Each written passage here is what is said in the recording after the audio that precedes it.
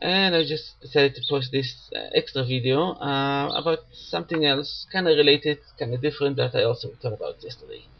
Um, where does E equals mc squared come from? Well, I'm sure you've all uh, heard it, just I doubt anyone actually thought about where this uh, simple equation came from. That's, that doesn't look very nice, does it? Anyway, I will try to explain at least how I uh, came up with a similar equation. I don't know if it's the same way Einstein did it, but it does make sense to a degree.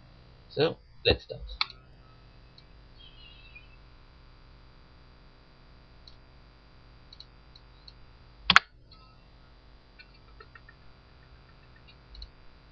Okay, let's consider we have this object here, one small point of mass, called the mass m.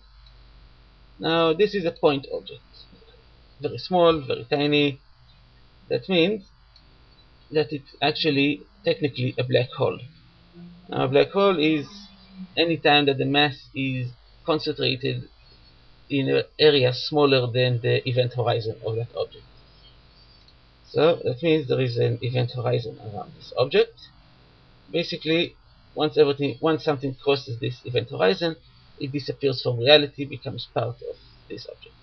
Now, again, we say that the mass of this object is m. My question is, how much energy is in this system? Well, it's kind of hard to measure it, so what we'll do is, we'll double it. We'll put another object m right here, also a black hole with mass m, and now we can measure how much energy we have added to the system. Now if we start with these two objects very far apart, almost infinite distance, and what will happen is that each will pull the other one in the opposite direction until eventually they will cross.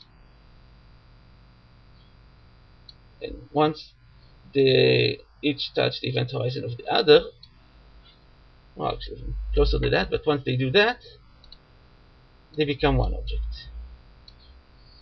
But at the second before they did that, how much energy did they have? Well, each of them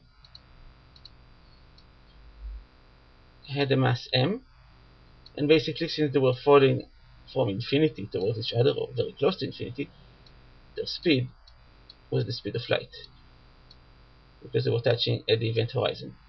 So the energy it had, each of them, is E equals V squared m over 2.